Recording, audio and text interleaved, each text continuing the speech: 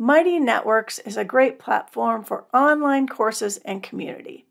In this video, you'll learn how to create a waitlist for Mighty Network courses. That way, when your course registration opens, you'll already have a list of interested folks to reach out to. I'm Marcia Chadly with the Creative Life Center. I enjoy demystifying technology so that you feel comfortable connecting online. Mighty Networks is one of my favorite tools. I really like what they offer and how they do business, so I am an affiliate for the Mighty Networks program. Mighty Networks does not have a built in support for a waitlist. So I developed this waitlist workaround that's easy for you to use. You can use it in any network that uses Mighty Network courses or even with Mighty Network groups. Later in the video, I'm going to talk to you about how you can automate it even further if you connect your Mighty Network to an email software package like MailChimp or Constant Contact or some other package using Zapier.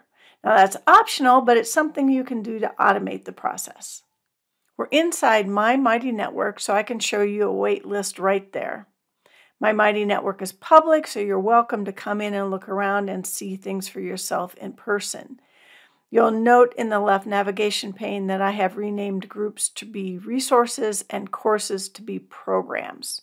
So what we're looking at right now is a list of all the Mighty Network courses that I have available called programs in my network. And at the top of the list is a wait list. I created a private Mighty Network course that people could join that is the wait list for an upcoming course I'm going to have. And what I wanted to do was to make an area that people felt like I'm joining a wait list. I'm not joining a course, I'm joining the wait list. So some things I did to make that happen is I included wait list as the first word in the title.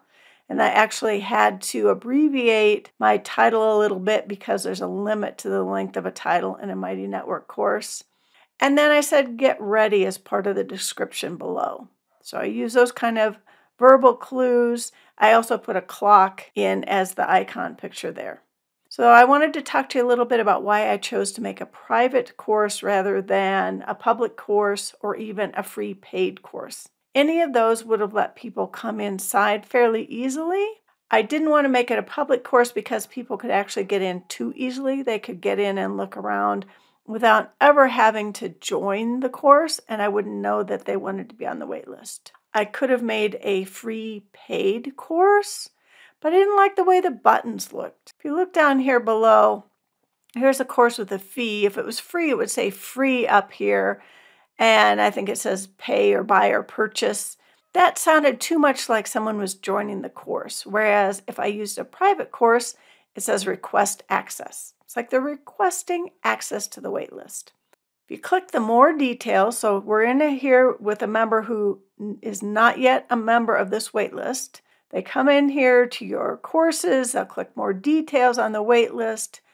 It has a request access button talks about, uh, gives a description. I included a short description of what the course is going to be. And then I said to use the request access button to join the waitlist, be the first to hear when registration is open and available. So I could scroll back up here and click this request access, or they could also just right away request access here. So let's see what happens when you do that. They're getting this message that their request has been received and someone's going to let them in. Now, as a host, I'm going to get a notification. You can see it right up here at the top of my notifications that someone wants to join that video tour class, that waitlist. So I click on the notification. It opens up the list of people who wanted to come in, and all I need to do is approve that person. They're being sent an email that lets them know that they can join. And if I go in and look as the host of this network, I'll be able to see that they've now joined. They are already in. When the person who requested to join the wait list comes back into the network and looks at their programs or courses, if that's what you're calling them, they'll see that they've already joined the wait list. They're also able to get inside and see what I put up inside. Now, I purposely made this as simple as possible This is meant to be a wait list, not a course. I don't have any topics, I have no events. I have one single post. And actually, I'm the only one who's allowed to post in this space. Everybody can comment on this post, but it keeps things very simple. I want to let them know that they're on the wait list. I want to let them know what happens when registration opens. And in this case, I'm going to post details here inside the waitlist and also send them an email to their inbox. So a little bit later in the video, I'm going to talk to you about what you can do to send an email to them. I ask them a question because I want to gather some information before they even get into the course about what they're looking for. Because it's a Mighty Network course, there's a table of contents. And I'm not able to get rid of that, but I can rename it. So I renamed it to resources because I knew there was some information that I wanted to provide to people along with this course, kind of extra side information. And so I just put some of that in here right now. So if they're on the waiting list and they want to look at that, they can. If you were making a wait list out of a Mighty Network group, it would look very similar, but you don't have to worry about the table of contents, so you don't even have to have that in there. To make this wait list work as automatically as possible, I've connected Mighty Networks to my software program, which is MailChimp, using Zapier. So this is the Zap I set up. I already have Zapier set up. It knows about my Mighty Network. It knows about my MailChimp. And I can set up different Zaps that connect the two. In this case, when someone joins the waitlist Mighty Network course, I want to tag them in my MailChimp program and add them to the list if they're not already on it, so that once the course opens, I can send them an email. So I set up a new Zap. I'm going to choose Mighty Networks, and the event I want to choose is new member. Then I set up my account. I make sure I choose the right Mighty Network I have hooked up, and I set up the trigger, which is not when they join the network, but when they join the course. Then you can test the trigger. I want to set up a filter because I want to um, filter this I don't want it to be when they join any course. I want them to join the specific waitlist courses when this tag gets set up. So I'm going to say I want to continue only if the course ID is, and then this is the course ID for my waitlist course. The way to find the course ID for any course or group that you're using, because it could also be um, a group ID, is to look at the URL when you're inside your course. So open your course in the browser. If you look at the URL, you're going to see a string of numbers somewhere in that URL. That's the course ID that you want to use here. Okay. Now, sometimes this says that the Zap would not have continued, but it always works. So I'm not sure what that is. I think it just doesn't test that very well.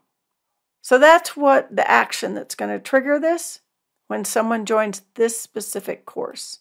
And then what I want to do is I want to update a subscriber in MailChimp.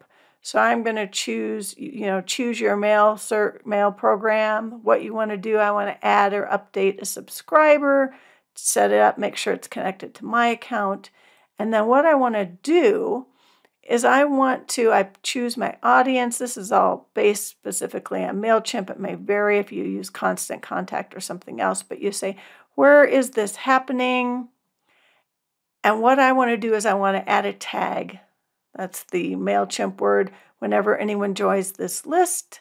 And I'm going to use the names of people to, to make sure I'm tagging the right person. And then again, I can test this. So that's the Zap I'm using so that when someone joins the waitlist Mighty Network course, they automatically get added or updated in my MailChimp email list and they'll have this specific tag. I'll use that later when the registration for my program opens. When I'm ready to open registration for the official course, I take the waitlist Mighty Network course, that private course, I change it from private to secret so nobody else can see it and join it, but the people are still in there. Then I take the new course that I've just opened registration for, I make it visible. It could be paid, public, private, whatever you want it to be. Then I post inside the waitlist course and let people know that registration is open. Here's how you get there. Here's what you do, whatever I want to tell them. I'll also send a similar email out to them using MailChimp, using the tag that Zapier set up for me. And then it's all set and ready to go. Now, as people join the course, I might want to take them off of the wait list. I also might want to clear the wait list out altogether. I've set this up as an internal wait list. If you would prefer to have an external wait list, say you have a paid network, even if it's free paid, and you want people to be able to see, um, have a plan that they could choose from that includes being on the wait list, you could bundle up into an external bundle your membership and this internal private waitlist course. You could use this process for a single course that you're just not ready to open registration for. You could also use it for an ongoing course or an ongoing group that you want to only open the doors at certain times. And so, in between times when the doors are open, you have a wait list going and then use that when you open the doors. Have fun using the wait list. Let me know what ideas you think of, what questions you have, and any other things, ways that you use wait lists in your Mighty Network.